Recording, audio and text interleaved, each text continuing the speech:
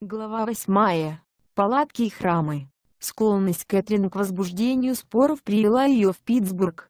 Ранней весной 1951 года ее собрания в Карнеги-Холл пикетировали с разгневанными пасторами и некоторыми церковными лидерами, которые утверждали, что она ворует овечек из местных церквей. Она возражала, что не ворует паству, а просто кормит стадо изголодавшихся ягнят. Это еще сильнее настроило божьих служителей разобраться с соперницей. Они пожаловались в мэрию, что поскольку Кэтрин уже шесть месяцев каждый вечер проводила собрание в муниципальном зале, то фактически она превратила собственность, содержащуюся за счет их налогов, в церковь. Но мэр Питтсбурга, Дэвид Лоренс, который позднее был избран губернатором штата, оказался одним из самых верных друзей и помощников Кэтрин. Будучи членом Римско-католической церкви, он издал указание, что Кэтрин может оставаться в зале Карнеги-Холл так долго, как только пожелает. Она оставалась там, в течение 20 лет. Но тем временем полемика вокруг Кэтрин все возрастала. Журнал Redbook поручил репортеру из Питтсбурга Милли Гарднер Нил, которая позднее помогала Кэтрин написать книгу «Я верю в чудеса», разобраться в этой ситуации. Получившаяся статья вывела Кэтрин на путь всеамериканской известности. В беспрецедентном предисловии редактора к этой семистраничной статье Редбук писал, «Удивительная история Кэтрин Кульман является одной из тех, которым редакторы журнала Редбук подходят с недоверием. Впрочем, никакие сомнения относительно целителей веры не могут затмить тот факт, что потрясающие вещи происходят на евангелистических собраниях госпожи Кульман в Питтсбурге. Течение четырех месяцев репортеры и ученые исследовали эти случаи излечений и исцелений. Если исследователи Редбука ошиблись, то это дает преимущество скептикам. Но по мере того, как они проводили опросы и изучали факты, изначальная недоверчивость редакторов привела их к убеждению, что эти факты необходимо опубликовать. Конечно, было трудно получить заключение терапевтов, Хотя доктор может и не отказываться прямо признать улучшение состояния пациента в подобных обстоятельствах, обычно он отказывается из-за типичной для профессии врача предосторожности уважать исцеление верой. Наш журнал имеет в своих архивах следующие конфиденциальные материалы. 20 свидетельств от лиц, утверждающих, что они были исцелены, 4 заявления от священников, помогающих мисс Кульман в ее служении, Два письма от официальных лиц, четыре документа о пособиях по нетрудоспособности работающим, два заявления от лиц, связанных с медициной, шесть заключений о рентгеновском анализе больных. К.М. Кларк, питтсбургский эксперт в области ушных болезней, утверждал в своем письме, «Мы на самом деле наблюдали чудесное божественное исцеление одной глухонемой, которая повторяла слово, воспроизводила артикуляцию, горловые тоны и носовые звуки, которые она никогда раньше не могла воспроизвести. Поэтому наш журнал обращает внимание читателей на это сообщение, объективность которого была проверена всеми возможными способами. И мы уверены, что тот, кто имеет веру или надеется иметь веру, найдет здесь сведения, имеющие глубокое внутреннее значение. Несмотря на заявление Редбук о том, что они могут доказать факты исцеления многих людей, посещавших собрания с чудесами, критики Кэтрин шумели все больше. Впервые в ее карьере нападки совершались на ее теологию, а не на ее личное качество. Это была совершенно новая война. Самая злобная атака пришлась на лето 1952 года. По приглашению Рекса и Мотами Хамбардов, семьи путешествующих евангелистов из Арканзаса, Кэтрин поехала в Акрон в штате Огайо для проведения серии собраний в гигантской палатке, разбитой семьей хамбардов на бульваре Триплет, рядом с аэропортом Акрона. Хамбарды были хорошо известны в Огайо, хотя в своем служении они переезжали с места на место. С Рексом и его женой были его отец и мать, которые проповедовали более 40 лет, а также брат Рекса, Климент. Кэтрин, разумеется, уже была известна в этой местности благодаря ее обширному радиослужению и большим собраниям, которые она проводила на регулярной основе в зале Стэмбак в окрестностях Йингстауна. Но вот чего Кэтрин не знала, так это того, что она вторглась во владение самого известного проповедника фундаменталистского толка на севере, Далласа Биллингтона из богатейшего баптистского храма города Крона. Биллингтон был рукоположен в маленькой баптистской церкви Мурей в штате Кентукки в 1924 году. Вскоре после этого горячий проповедник в с несколькими другими баптистскими служителями, включая Джона Эрайса и Дж. Франка Нариса из Первой Баптистской церкви из Фортуэрта в штате Техас, начали разрушительную атаку на Южное Баптистское собрание, говоря, что оно стало слишком либеральным. Когда атака стала более злобной, часть пасторов вышла из состава ЮПС, и они сформировали свободную лигу независимых баптистских церквей, чья основная задача состояла, похоже, в нападении на либералов, католиков, целителей веры и женщин-проповедниц. Одна из самых популярных книг, ходивших по рукам, была написана Джоном и Райсом и называлась «Стрижки под бобрик. Жены заправилы женщины-проповедницы». Биллингтон, бывший фабричный рабочий, которого никто не мог бы упрекнуть в том, что он убегает от драки, получил церковную теологическую степень. Доктор библиологии, в Первой Баптистской церкви города Фортуэрте штата Техас. Он переехал в Акрон в 1925 году, чтобы основать баптистский храм города Акрона. В течение 27 лет он создал целую династию, в которой он правил как абсолютный монарх в процветающем резиновом городе. Прибытие в его владение гигантской палатки хамбардов, которая вмещала более 15,000 человек, и той самой женщины-целительницы Верой, Кэтрин Кульман, одновременно с хамбардами было равносильно размахиванию красной тряпкой перед разъяренным быком. Кэтрин снова была на пороге битвы, только на сей раз она бросалась не на игрока низшей лиги типа МДЖ, Мелони, а на короля удара, Далласа Биллингтона. Фундаментализм, Фундаментализм – строго ортодоксальное учение, основанное на определенных догматах, таких, например, как буквальное понимание Библии, примечание переулок. Биллингтон вылез из укрытия, не теряя времени. Он использовал все, чтобы выбить ее из зоны. В случае удачи он сумел бы взять корзину сверху и заодно избавиться от хамбардов.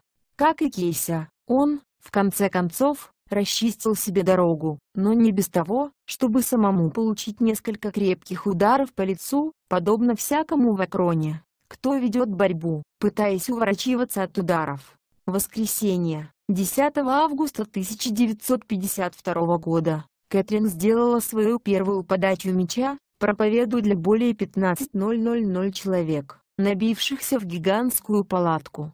Многие из них приехали аж в 5 утра, чтобы в 9 часов занять места на собрание, которое продолжалось и после обеда. 15 августа Биллингтон отбил подачу. В сводке новостей, помещенной на первой странице Акронской газеты Beacon Journal напыщенный проповедник предложил 5000 долларов тому, мужчине или женщине, кто сможет доказать, что умеет исцелять человека посредством молитвы. Я публикую свое предложение, чтобы подчеркнуть мою уверенность в том, что нет большего надувательства в Америке, будь то ставки на жокеев. Собачий бега или же ежедневная цифровая лотерея, как так называемая новая целители верой. У меня вообще не есть целый класс немых. Если Кэтрин Кульман придет в воскресенье и откроет их уста и уши так, чтобы они могли говорить, я позволю ей проводить одно богослужение в моем храме каждый месяц в течение 12 месяцев бесплатно. Ежедневная цифровая лотерея. Numbers Game, Numbers Pool, Numbers Racket, S, нелегальная лотерея, в которой принимаются ставки на появление в официальных источниках, газетах, биржевых сводках, статистических отчетах, определенных чисел, типа 588. Примечание переулок. Биллингтон, который публично обвинил Кэтрин, что она взяла свое учение из книг Энеса М.П. Макферсон, писал, «Нигде еще не бывало, чтобы сила чудесного исцеления была дарована женщине. У женщин есть свои законные места в мире, но когда вы пускаете их на кафедру, то это противоречит Писанию». Биллингтон следовал строгому фундаменталистскому учению, тому учению, которое помогло ему стать популярным в качестве одного из самых сильных и успешных проповедников своего поколения. Никогда не было свидетельств, что он нападал на Кэтрин лично, хотя перед тем, как бой закончился, он зашел на свою кафедру и разоблачил ее как разведенную женщину. Впрочем, он чувствовал, что имеет право от Бога вострубить в трубу и предупредить паству, что волк рыскает по окрестностям города. Кэтрин, помня свои победы во Франклине, упивалась успехом своего служения в Питтсбург-Ингстауне. Она была вдохновлена тысячами людей, поднявшихся поддержать ее. Она выпустила свой быстрый снаряд и попала точно в цель. Я живу в этом районе вот уже семь лет и чувствую, что моя жизнь и мое служение говорят сами за себя, сказала она газетчикам. Я никогда и нигде не делала заявлений, что я кого-либо исцелила. Это сила Божья. Давайте идите и печатайте все, что скажет доктор Биллингтон. Он собирается развалить свою церковь. Ответ последовал немедленно. Отдел подписки и распространения газеты сообщил, что запросы на дополнительное количество экземпляров уступали тиражам разве что во время Soulbox Дерби, ежегодного представления, которым знаменит Акрон. Письма тысячами приходили в офис газеты, а также в офисы Кэтрин в Карлтон-хаус в Питтсбурге. Soapbox Derby, Soapbox Derby, детские соревнования по скорости спуска с холма на безмоторных конструкциях обычно деревянных, собственного изготовления. Примечание переулок. Рекс Хамбард, который никак не мог ожидать такой битвы от кого-либо, кого он называл братом в Господе, был ошеломлен происходящим. Он позвонил Кэтрин и предложил ей, если она пожелает, отказаться проповедовать в ближайшее воскресенье. Никто так сильно не хотел избежать вывешивания нашего грязного белья, как я, сказала она. Давайте придерживаться нашей тактики. Я прибуду туда в воскресенье утром во всеоружии. Но не только Кэтрин была там, а еще более 20.000 человек. Биллингтон нечаянно предоставил Кэтрин и Хамбардам больше рекламы, чем они смогли бы приобрести на свои деньги. У себя в Питтсбурге Кэтрин обдумывала линию своей защиты. У Мэгги Хартнер, которая теперь работала полный рабочий день, были в помощницах две сестры, Мариан Марш и Руфи Шер. Подобно многим, Руф и Мариан были, скорее, номинальными христианками, чем настоящими верующими, когда они посетили свое первое собрание с чудесами в 1950 году. Впрочем, после того как Руф была исцелена от серьезной болезни позвоночника, которая заставила ее полжизни провести в больницах, обе они стали серьезно относиться и к Богу, и к служению Кэтрин. Руф стала помогать Мэгги в ее работе с прихожанами во время собраний с чудесами, а Марилан пошла работать в офис машинисткой. Руф позднее тоже стала официальным сотрудником Кэтрин. Помимо воскресных служений в Акроне, Кэтрин проводила также разовые собрания с чудесами в Ньюкасле, Ингстауне и Батлере, наряду с регулярными занятиями по изучению Библии по четвергам в Питтсбурге и большими служениями в Карнеги-Холл по пятницам. У Руфи Мэрилон, у обеих, был музыкальный слух, и они чувствовали необходимое звучание хора во время собраний. Они организовали группу незамужних женщин, стали репетировать в подвале у Руфи спели на нескольких собраниях. Видя нужду в хоре, Кэтрин позднее заключила контракт с доктором Артуром Миткалфом, известным руководителем хора Мендельсона в Питтсбурге. Она уговорила его работать с ней в качестве руководителя ее хора. Это был один из лучших ее ходов. Доктор Меткалф посвятил более 23 лет своей жизни ее служению, пока не сдался в конце концов сердечному приступу ровно за год, день в день, до того, как умерла Кэтрин. Другим членом ее питтсбургской команды был ее бухгалтер Ултрадамок. Адамок уже почти достиг пенсионного возраста и во многом походил на отца Кэтрин. Он не доверял проповедникам и религиозным организациям, когда он услышал об атаке Беллингона против Кэтрин, он понял, что занял позицию на правильной стороне. Он был бойцом и не думал о том, чтобы использовать цветистое выражение, когда кто-то нападает на тех, кому он верен. И он вполне представлял, кто такой Биллингтон. Кэтрин любила его. Она любила его, потому что он был человек прямой, даже немножко грубый. Он стал сторожевым псом ее финансов. Позднее он помогал ей созданием ее организации, а также нескольких сторонних корпораций. Он был одним из самых доверенных ее друзей и советчиков. И также он был неоценимым адъютантом, когда она вступила в бой с Биллингтоном, укрепив, таким образом, свои позиции хорошим персоналом и заручившись поддержкой тысяч друзей, которые писали письма и звонили по телефону. Кэтрин была во всеоружии для следующего раунда битвы между палаткой и храмом. Вернувшись в Акрон на воскресное богослужение, она привезла с собой множество людей, которые добровольно вызвались свидетельствовать о физическом исцелении. Двое из них, как она сообщила газетным репортерам, окружившим помост перед богослужением, могли бы пройти более серьезную проверку, чем тесты доктора Биллингтона на исцеление верой. Это были Яков Хесс и его жена Сара, обоим было по 66 лет и оба были рождены глухонемыми. Слух госпожи Хес был частично восстановлен, и она могла говорить, хотя не очень разборчиво. Господин Хес начинал воспроизводить голосом шумы. Через свою 13-летнюю приемную дочь, которая выступала как переводчица перед толпой, насчитывающей более 20 000 человек. Чита Хесов провозгласила, что Бог исцелил их во время собрания с чудесами в Питтсбурге. Госпожа Маргарет Ричардсон, 71-летняя подруга Хесов, сказала, что она выросла вместе с ними может свидетельствовать об их прежнем состоянии об их исцелении. Другим доказательством Кэтрин была некая Присцилла Бойко, 38-летняя конторская служащая, рассказавшая о себе, что она была парализована с рождения.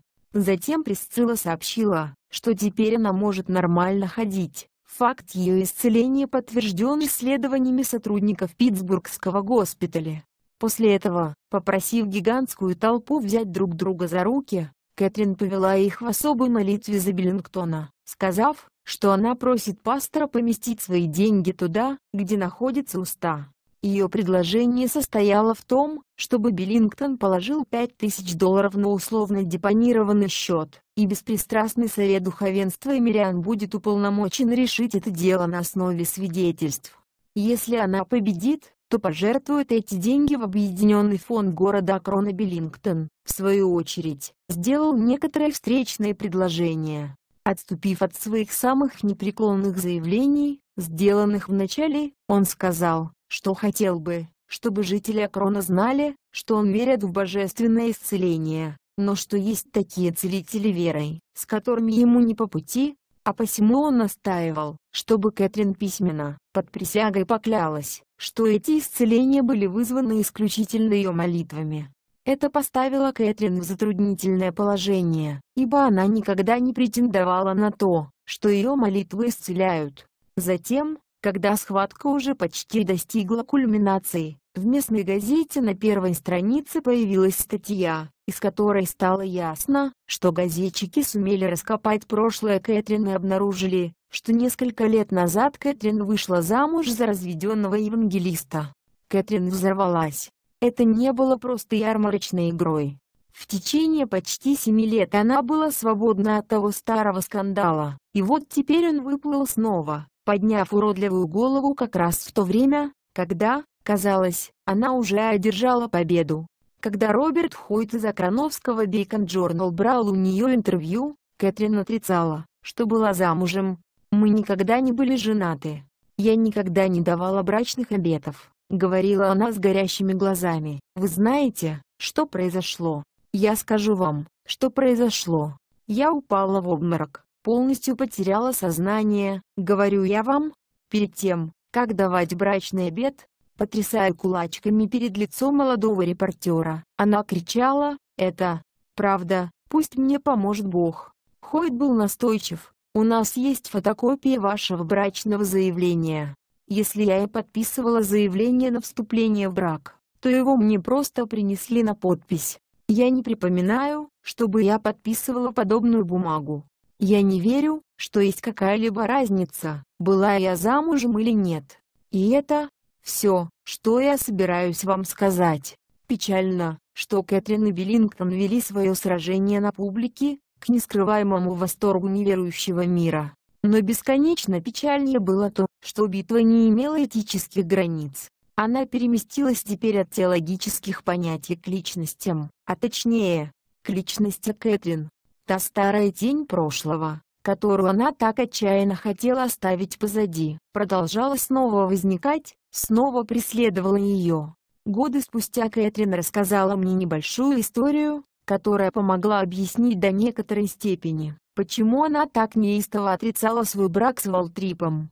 Похоже, она давным-давно определила для себя, что лучший путь обойти неприятный факт – это просто сделать вид, что он никогда не существовал, и продолжать двигаться дальше. «Я проповедовала в маленькой церкви в Нью-Джерси», — говорила она, и жила в доме у одного из членов общины. Я так живо вспоминаю это, потому что это была неделя выборов тот самый год, когда Франклин Рузвельт баллотировался на третий президентский срок. У мисс Анны, моей хозяйки, была близкая подруга, на несколько лет старше ее самой. Это была крупная, дородная женщина, которая насмерть стояла против переизбрания Рузвельта на третий срок. Они вязалась в компанию одной женщины, которая хотела остановить его. Ее муж был богат, и она потратила тысячи долларов на эту компанию. Что ж, подошел вечер дня выборов, и она была абсолютно истощена от умственного напряжения и физических усилий. Около семь часов вечера ее муж сказал, ступая в постель, когда станут известны окончательные результаты, я позову тебя. Она пошла спать в полной уверенности, что Рузвельт потерпит поражение и ее разбудит, чтобы праздновать победу. Конечно, Рузвельт буквально смел конкурентов, победив с большим отрывом. В доме мисс Анны зазвонил телефон. Это был муж той самой женщины, которая еще спала. Он сказал, «Анна, срочно приходи, Господин Рузвельт победил, и когда я скажу об этом моей жене, это убьет ее. У нее будет удар, и она умрет. Приходи поскорее и помоги мне сообщить ей это. Мисс Анна сказала мне, Кэтрин, я скоро вернусь. Не знаю, как долго я там пробуду. Потом она рассказала мне, что там произошло. Было два часа утра, и Анна вошла на цыпочках в комнату, с нюхательной солью в руках. Она предприняла все меры предосторожности, чтобы у этой старой женщины не случилось удара. Та проснулась и увидела мисс Анну постели. Она? Что случилось? Мы победили? Мисс Анна с нюхательной солью в руке подошла поближе к своей старой подруге и сказала, «Извини, но мистер Рузвельт будет президентом на третий срок». Полная и грузная, она села в своей постели. Подняв голову и гордо держа подбородок, она сказала, Анна, Анна, мы просто будем жить так, словно этого никогда не было. И до самого дня своей смерти она никогда ни с кем этого не обсуждала. Она никогда не говорила о том, что Рузвельт правит страной. Она просто действовала так, словно этого никогда не было. Ее сердце продолжало стучать ровно, и ни один нерв не дрогнул. Кэтрин закончила свою историю, затем, наклонившись ближе ко мне, резюмировала, это один из самых больших уроков, которые я когда-либо получала. Не проходит ни одной недели, поверьте мне, чтобы не случилось нечто, ужасно не огорчившее меня. Меня могли бы разорвать на тысячи кусочков. Когда ты имеешь дело с человеческими жизнями, как я, то это самая тяжелая работа в мире. Поверьте мне.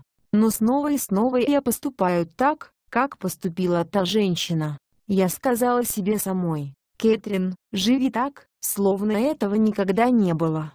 Это лучший путь в мире, чтобы принять поражение и разочарование.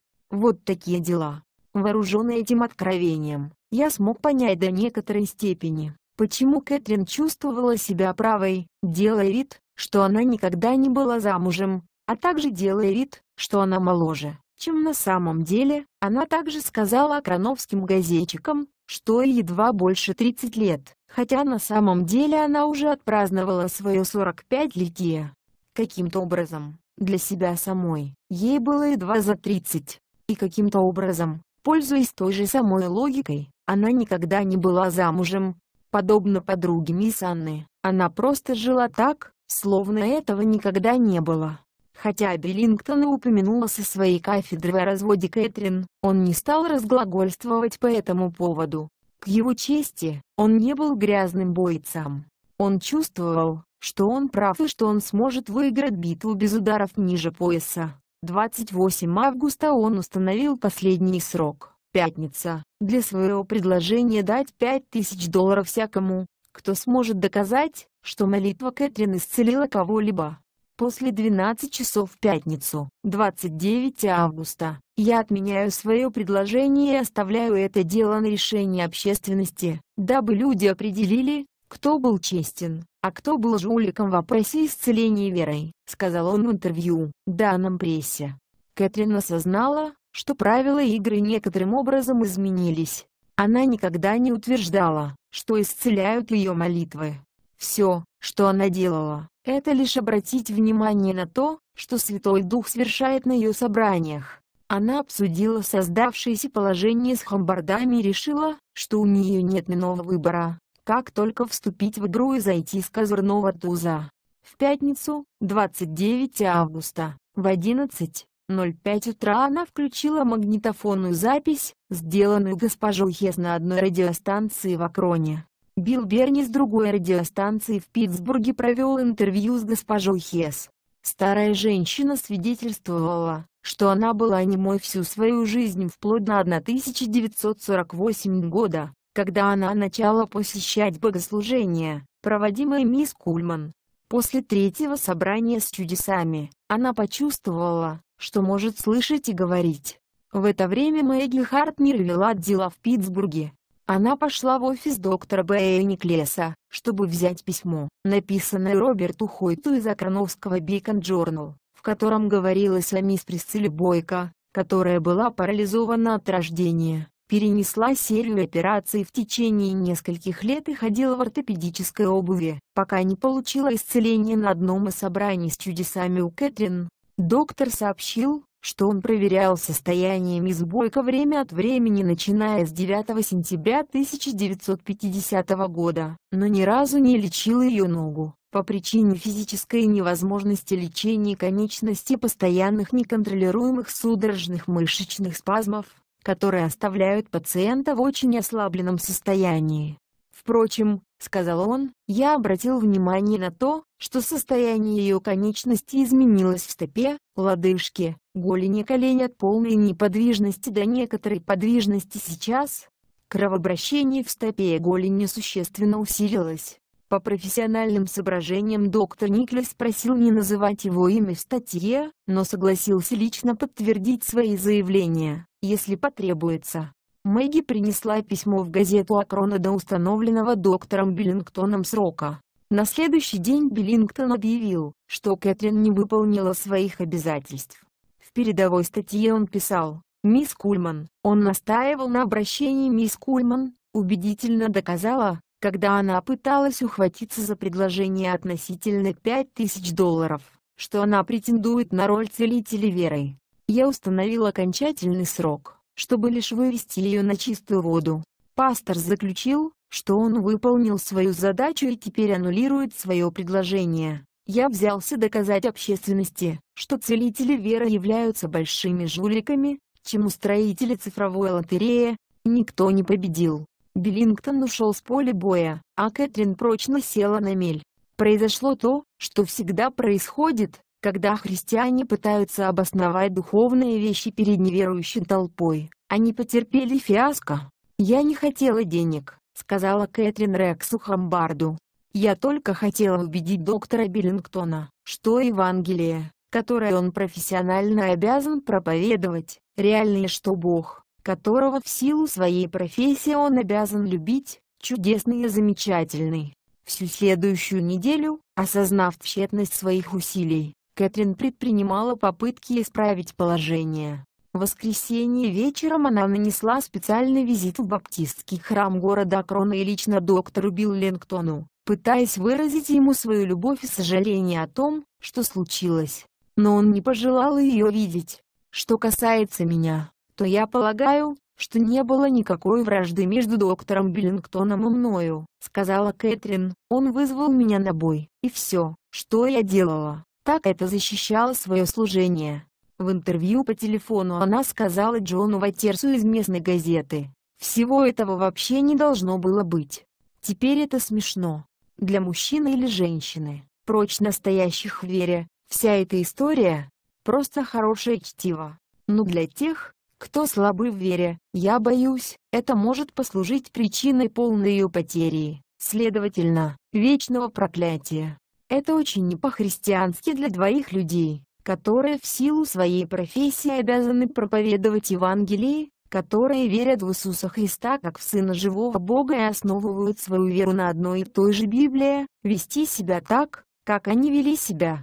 Когда Ватери спросил Кэтрин, почему она приняла предложение Беллингона, она смутилась, а затем сказала, «Я хотела бы уйти от того, чтобы поднимать это дело снова, поскольку мы уже сделали столько плохого. Но, отвечая на ваш вопрос, я скажу, что я должна была принять этот вызов, ибо не только Кэтрин Кульман была вызвана на поединок, но тысячи тысячи христиан разных конфессий, которые верят и практикуют исцеление верой. Если бы я не приняла вызов, то доктор Биллингтон стал бы утверждать, что я мошенница и что я не могу дать ни одного свидетельства исцеления. И затем она нанесла свой куди гроз. Вы знаете, те же самые чудеса, что происходят на моих собраниях, будут происходить и на собраниях доктора Биллингтона, если он будет вселять веру в сердца своих прихожан. Куди Гросс, Франц, удар милосердия, последний удар, в дуэля, добивающий раненого, дабы завершить его страдания, наносится обычно из милосердия к противнику. Примечание переулок. Несмотря на все ошибки во время этой злосчастной битвы, результаты Кэтрин остались неизменными. В то воскресенье более четырех сотен человек ответили на призыв к покаянию в палатке семьи Хамбардов, объявив, что они хотят отдать свои жизни Христу, и четверо вышли вперед в баптистском храме города Крона. Но не все было потеряно. Одно из замечаний Биллингтона, которое больно задело их, содержало критику в адрес семьи Хамбардов. Я заметил, что все целители веры действуют вдали от дома и никогда не начинают постоянного служения где-либо. Рекс и Мотрами Хамбарды решили остаться в Акроне, основав храм Голгофы, а позднее собор Будущего. Узнав силу Святого Духа, который не только спасает, но и исцеляет, их церковь выросла и стала одной из крупнейших и самых динамичных церквей в мире.